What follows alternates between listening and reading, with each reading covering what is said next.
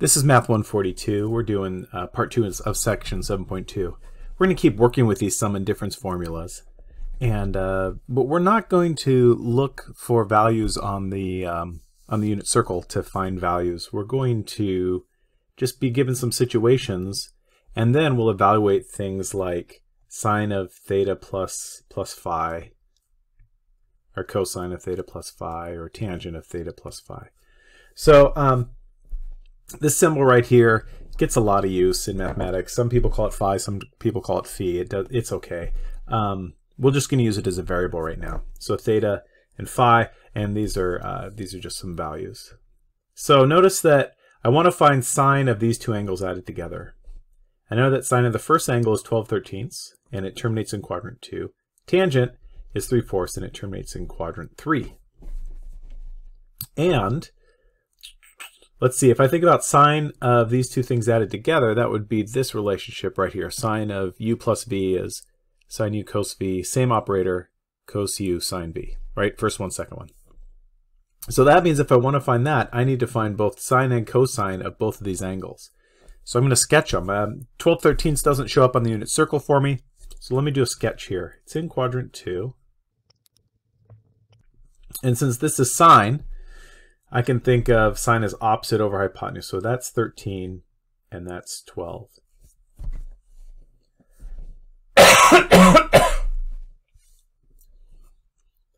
now notice I'm doing that out of convenience. If I was just sticking in the unit circle, that would be 1 and that would be 12 thirteenths and I'd have these fractions to deal with. Again, I'm just I'm just doing that because, like I said, it's convenient.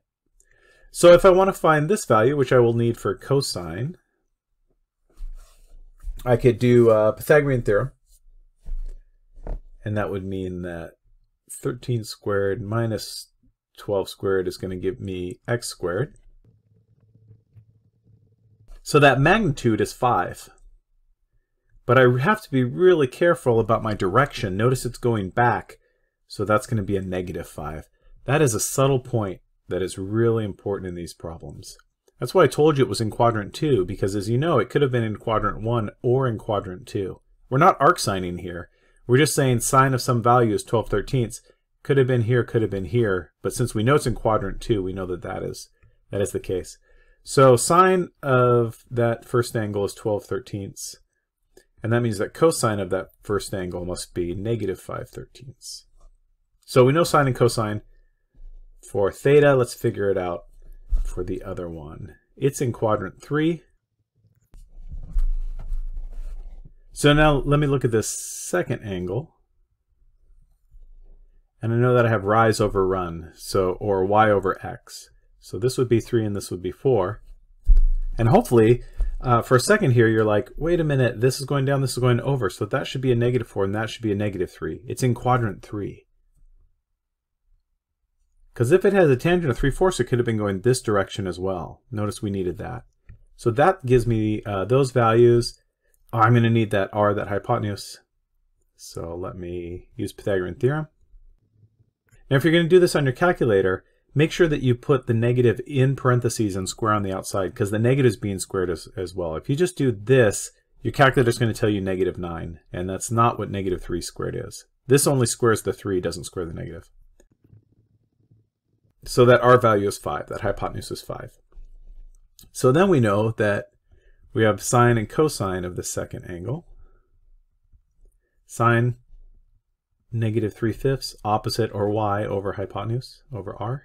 And cosine is that x value over r. I have all of these now. I have sine of both these angles, cosine of both these angles. That's this expansion right here. So I can just look it up or, or I know it either way. But I know that this splits out to sine of the first one, cosine of the second one. Same operator. Cosine of the first one, sine of the second one. And I know these values. They're right here. That's why I found them. So let me plug these in. So sine of that first angle is 12 thirteenths. Cosine of the second angle is negative 4 fifths cosine of the first angle, negative 5 thirteenths. Sine of the second angle, negative 3 fifths. And now I just have some arithmetic to do. I just have to do some, uh, some multiplication and I will get there. So this would be negative 48 over 65 plus negative times a negative is positive, 15 over 65. So if I add those together, negative 33. So there's my sine value. So the sine of them added together is negative 33 over 65. Let me do the cosine one then. So that expansion is going to be this one right here. So we know that it's cosine of the first one, cosine of the second one. Opposite operator. So that's plus, so minus. Sine of the first one, sine of the second one. Plug those in. Cosine of the first one, cosine of the second one, minus sine of the first one, sine of the second one. And again, just arithmetic to do. So uh, five, negative 5 times negative 4 is positive 20. Negative 12 times negative 3 is negative 36. Subtracting a negative is the same as adding. So it looks like I get 56 over 65. So before I go on to, to find tangent, I just want to do a little check and make sure that I'm, I'm right on these. One thing I, I do know is that sine squared plus cosine squared equals 1. So if I were to go my sine value plus my cosine value, 56 over 65, that should equal 1. So let me check that on my on my calculator and see if it see if it works. So negative 33 divided by 56, uh, I'm sorry, 65 squared plus 56 divided by 65 squared. Whoops, I'm going to need the parenthesis here as well so I can insert it. Equals 1. Yeah, good. So that's pretty good evidence that I'm on the right track. Now to, to find tangent, I could I could use this formula. I was already given tangent of this. I already know that, that tangent of this angle is 3 fourths. I also, this is a pretty easy tangent to find out once I have it all drawn out. It's rise over run, so negative 12 fifths. So what I could do is I could plug these values into, into this formula. The other thing I could do is I could take advantage of knowing that, that tangent of some angle is sine of the angle divided by cosine of the angle. So that means that tangent of this would be sine divided by cosine. It would be negative 33 over 65 divided by 56 over 65. And the 165ths cancel out. They divide each other out. So tangent would be negative 33 over 56. And if you don't like that idea of like the 65s just cancel each other out, Remember, this is division. When you divide by a fraction, you can multiply by its reciprocal. There go those 65s, negative 33 over 56. Now let me point out a couple things that, that just went on. We had this angle and this angle, but we didn't actually figure out what the actual angles were, right? Like I didn't go um, arc sine of 12 thirteenths and actually figure out what that is in degrees or in radians. I didn't need to. I could do this indirect. So I had some angle, and I added the other angle to it, and then it terminated somewhere. Now I'm going to claim that this, if I add these two together, this will, in this case, end in quadrant 4. How do I know that? Well, I know that cosine is positive, so if cosine's positive, I must be going in a positive direction the x way. And if sine is negative, I must be going down, which puts me in quadrant 4. So notice I can look at the, the sign, the SIGN, the kind of the parity of these. And if sine's negative, it's going down. Cosine's positive, it's going to the right. That must be quadrant 4. So I can tell what quadrant it's in just by looking at which one of these is positive and which one's negative.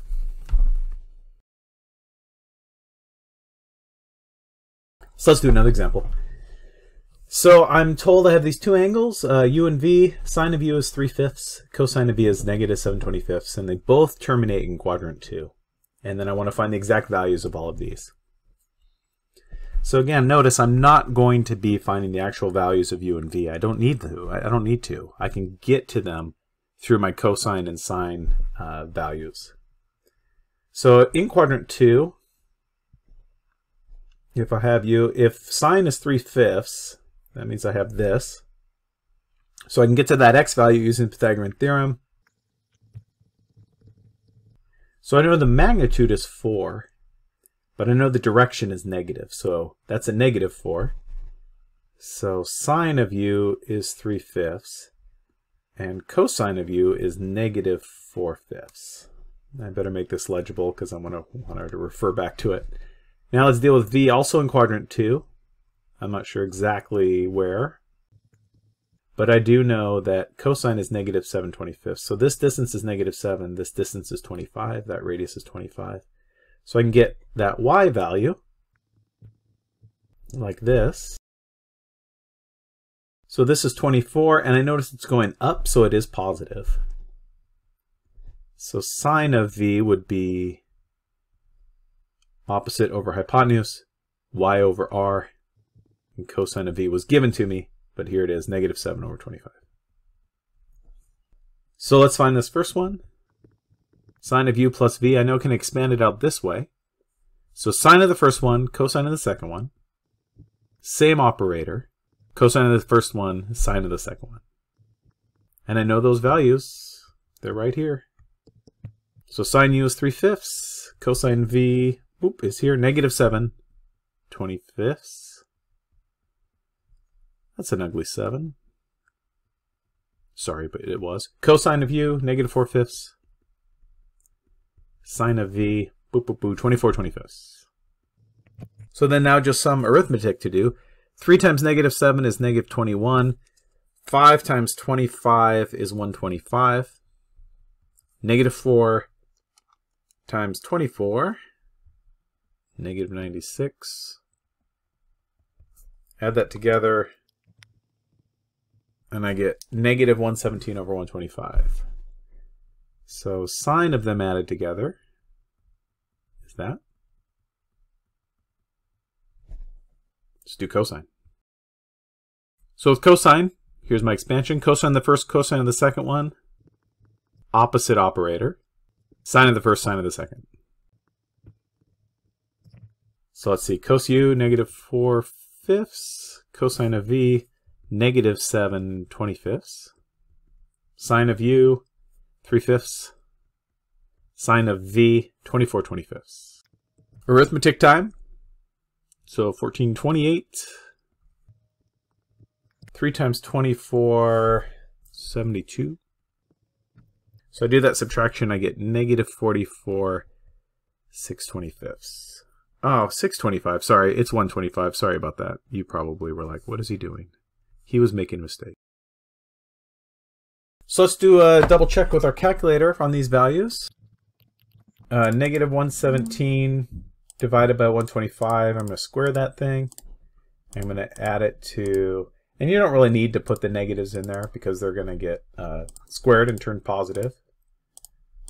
I'm just doing it because they're there. That's one. Yeah, so that's pretty good. Pretty good evidence that it, it's probably right. Now to do tangent, I could find these tangent values, plug it into that tangent value, or again, tangent sine over cosine. So negative 117 over 125 divided by negative 44 over 125. A negative divided by a negative is positive. 125, this 1 over 125, 1 over 125 will cancel each other out. So it should be 117 over 44. So looking at this, if they're both negative, my result is going to fall into quadrant 3. So last example like this, same sort of setup, but notice now we're going to go sine of alpha minus beta, where we're going plus before. And this one isn't going to be quite as neat and tidy as the other ones, but I do want to show you this type of problem. So um, for these expansions, we're going to need sine and cosine in both angles. So I'll do a little sketching. Uh, alpha is in quadrant 1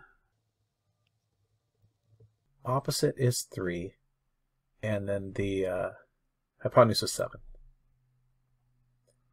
So I can find this side right here by using Pythagorean theorem. And square root of 40, that is the same as 2 root 10. Right, if I split up that square root of 40, that's 4 times 10. They're both still being square rooted. Square root of 4 is 2. Can't square root uh, 10 anymore. So it's 2 root 10. And if I think about that direction, it's going to the right, so it is positive. So sine is 3 uh, over 7. Cosine, of it is going to be 2 root 10 over 7. Let's get a sketch for B. It's in quadrant 4. Beta, I should say. 2 over 9, right? Adjacent over hypotenuse, or x over r. And we want to get that y, so we can Pythagorean theorem that as well.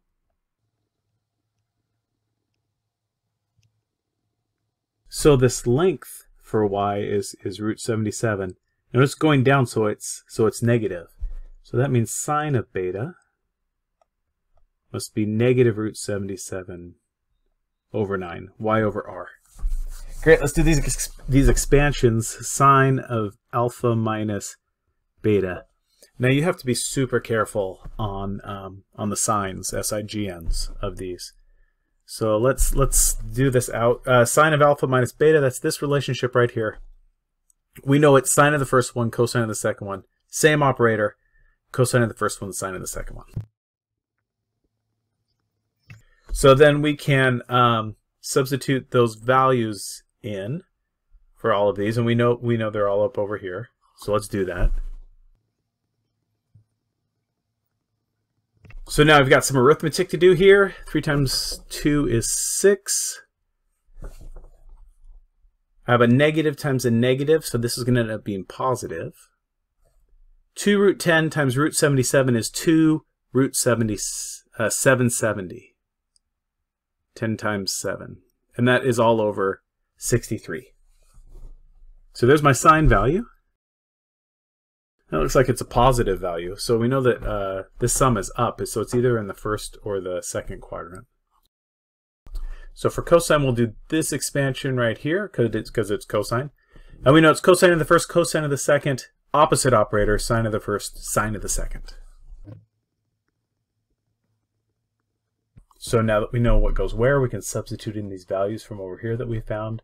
So cosine of alpha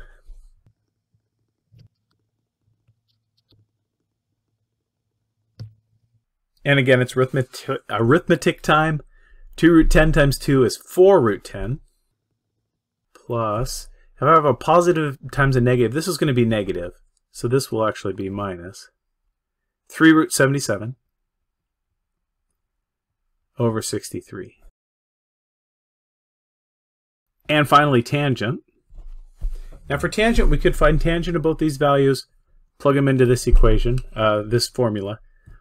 Or we could just go sine over cosine. If we go sine, sine over cosine, the, the 60 thirds are going to cancel out. It's going to be something that's equivalent to this. Now, one note on going this sine over cosine route versus this tangent formula route the the form that you get your your equation in is going to be different uh, depending on which route you go. Even though they're going to they're equivalently equivalent numerically, um, there'll be different values if you use this formula than if you just go sine over cosine. Give these all these problems a try. Post any questions you have in the forums. Message me if you have them, and uh, have fun.